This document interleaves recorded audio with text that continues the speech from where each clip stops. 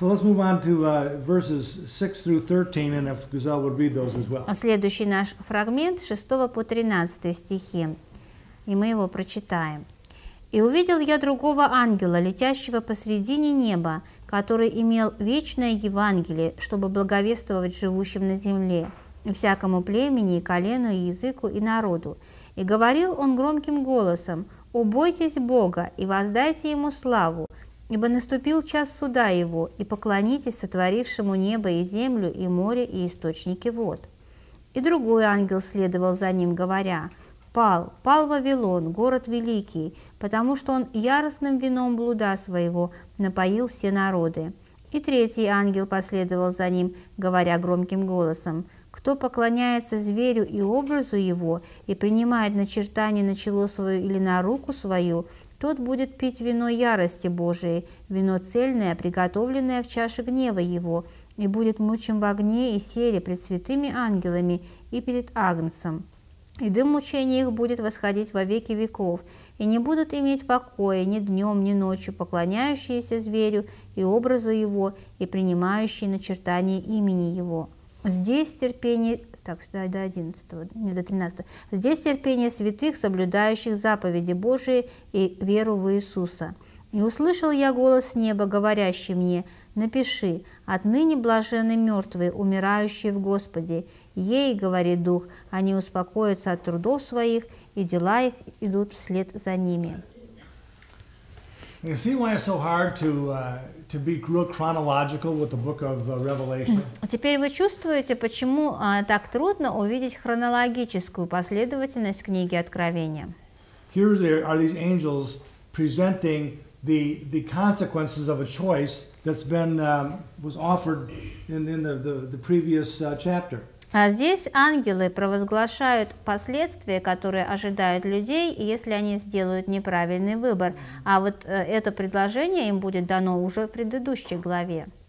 My guess would be that while the false prophet and the antichrist are preparing the mark and giving out the mark, these angels are in the sky telling people not to take them. А лично я считаю, что в то время, когда антихрист или лжепророк предлагают это начертание, а, рекламируют это начертание свое, в это же время и ангелы с небес провозглашают, что не делайте этого, не берите, вот вас что ожидает.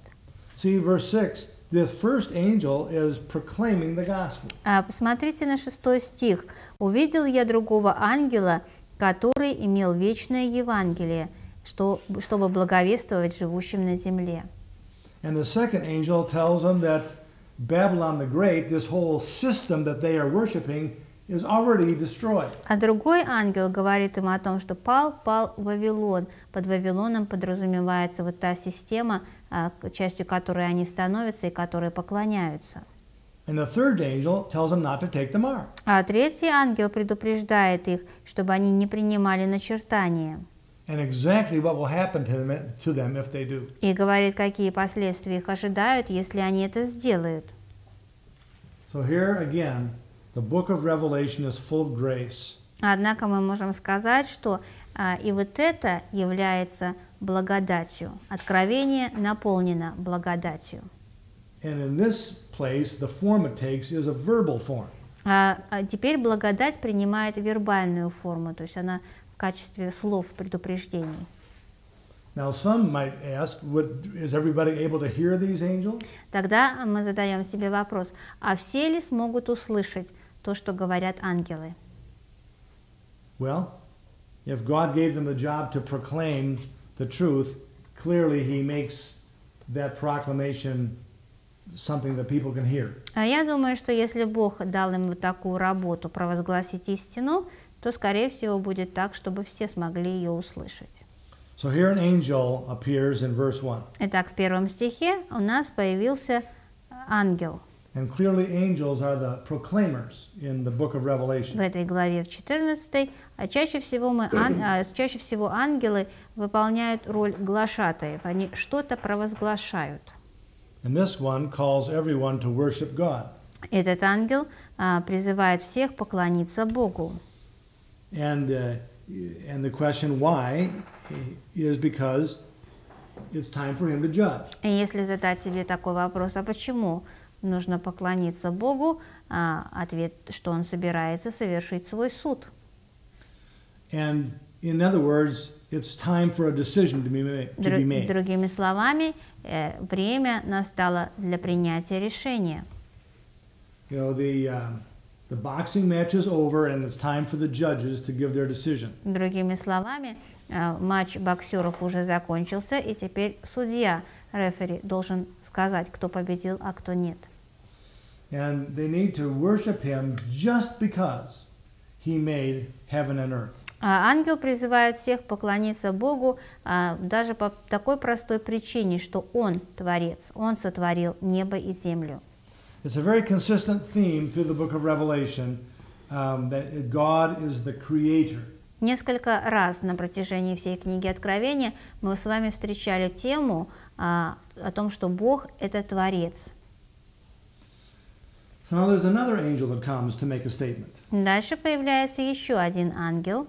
In verse 8, and he makes a statement, uh, to, he prophesies the destruction of Satan's kingdom. А В восьмом стихе а, этот ангел а, провозглашает разрушение царства сатаны.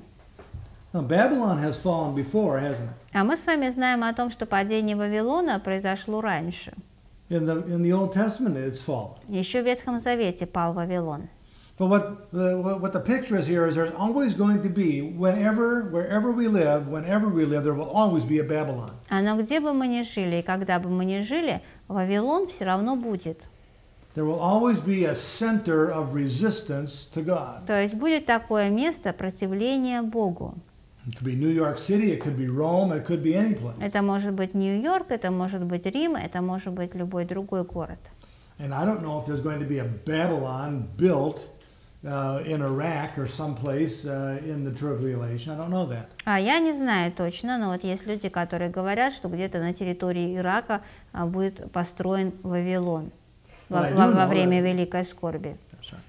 I do know that in the re- book of Revelation there will be a city that is the center of, uh, of, of the resistance and rebellion against God. Однако в книге Откровений говорится о том, что будет какой-то город, а, который будет центром противления и сопротивления Богу.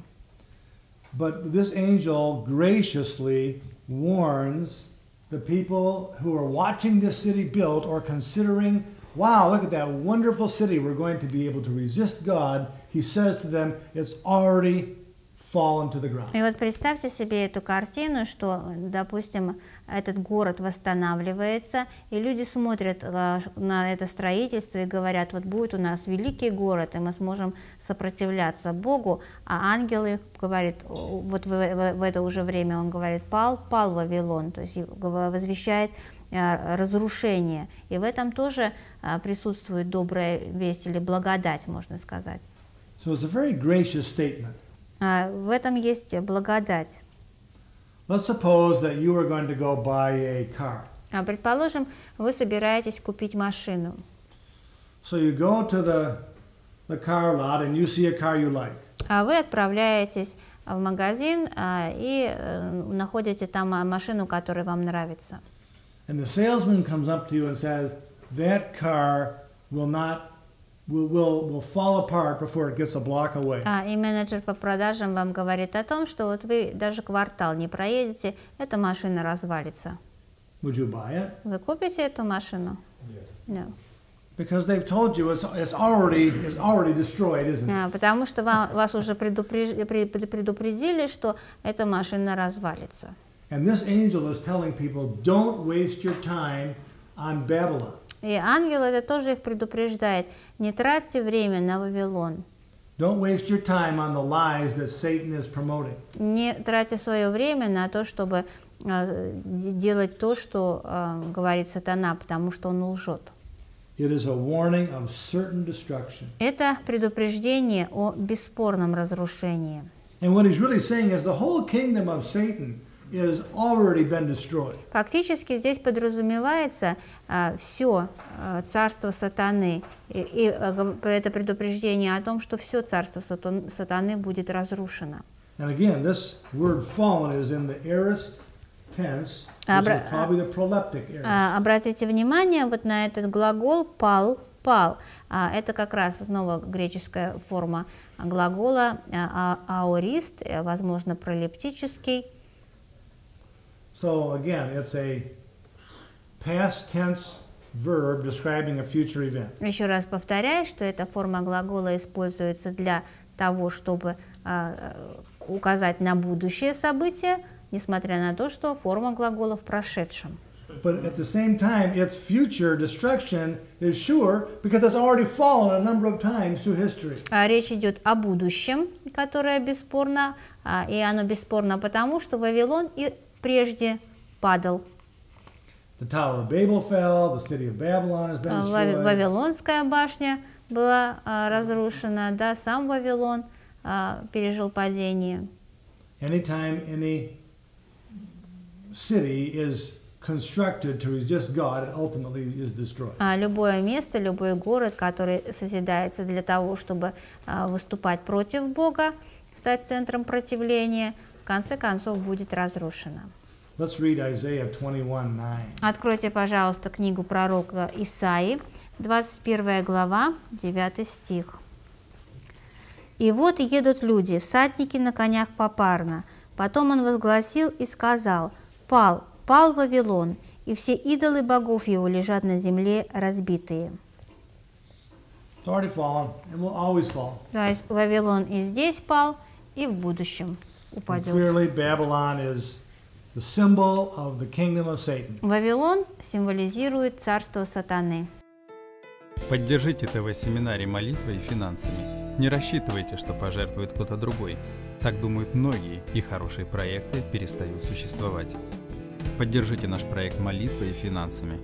Информацию, о чем молиться и как пожертвовать, вы можете найти на сайте tvseminary.com. Now, this third angel in verse 9 gives a very personal warning. А третий ангел, который появляется в девятом стихе, дает личное предупреждение. For all these people who are struggling to stay alive, the angel tells them that the worship of the Antichrist is fatal. А Всем людям, которые а, пытаются выжить а, вот в этой ситуации, а, ангел говорит о том, что поклонение Антихристу приведет к смерти. Оно смертельно. He will be he will go to a place of eternal torment. А, То, что а, сатану ожида... а, что этого человека ожидает место, где он будет мучим в огне вечно. You see, he says if anyone worships the beast. So this is a very specific and individual warning. Мы говорим о том, что это личное предупреждение, то есть адресованное каждому в отдельности, потому что здесь вот в 10 стихе э, говорится «тот», то есть отдельно, каждый. And you'll see in verse 9 there that the worship of the beast is um, equal to taking his mark. А, И в 9 стихе можно сделать вывод, что поклонение зверю и образу его равнозначно принятию начертания на чело свое или на руку свою, что это фактически одно и то же. When you see your non-believing neighbors and friends lining up to take this mark, don't take it. И поэтому, если вы увидите, что все ваши соседи отправились за этим начертанием, э, то не следуйте за ними. And these, those who receive Satan's mark will persecute the people of God. Э, Люди, которые а, принимают начертание сатаны, будут преследовать Божий народ. Look down at verse 12. 12 стих, посмотрите. The people who receive, the, or in verse 11 it says, the people who receive the mark will never have any rest. А, а, в 11, 11 сначала стих посмотрите, что а, те, кто поклоняются зверю и принимают его начертание, не будут иметь покоя ни днем, ни ночью. But the believers in verse 12 need to be uh, exhibiting patient endurance. А, а вот в 12 стихе говорится о том, что вот в это время святым необходимо запастись терпением и выносливостью. Why? А для чего это нужно? Because they're being persecuted. Потому что это время гонений. In this worldwide kingdom of Satan, the presence of God's faithful children will be very um, troubling to the non believers. А в этом царстве сатаны, которое а, в мировом масштабе будет присутствие Божьих детей, верных Его служителей, будет вызывать а, беспокойство у него, у сатаны. We will be receiving rest while the non-believers will have no rest. Однако а, верующим будет обеспечен покой, они получат покой, а неверующие не смогут его найти. There's no rest for those who worship the beast. А здесь вот в 11 стихе говорится о том, что не будут иметь покоя те, которые поклоняются зверю. But the assumption is that there will be great rest for those who don't. А, но те, кто не поклоняется зверю, они обретут этот покой. Jesus said, Come to me, you who are heavy laden, and I will give you rest. Иисус Христос говорил, «Придите ко мне все труждающиеся и обремененные, и я успокою вас, я дам вам покой». You see what God is doing in this passage? А вы видите, что делает в этом фрагменте Бог? He's offering grace. Он предлагает благодать, He's telling people the truth. а Он предлагает людям истину, And in the process, God is satisfying his own righteous character. и, как обычно, Он, Бог, отвечает требованиям своей праведности. Он удовлетворяет требования своей праведности.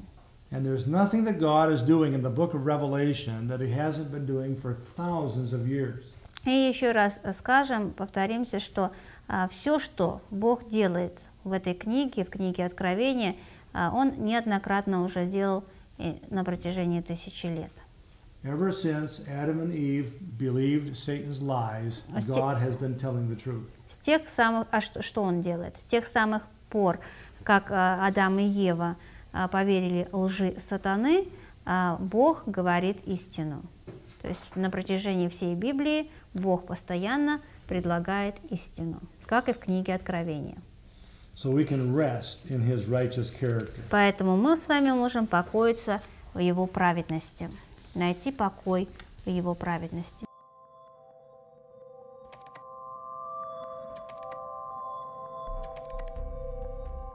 Ищите нас в поисковых системах по запросу ТВ-семинарий.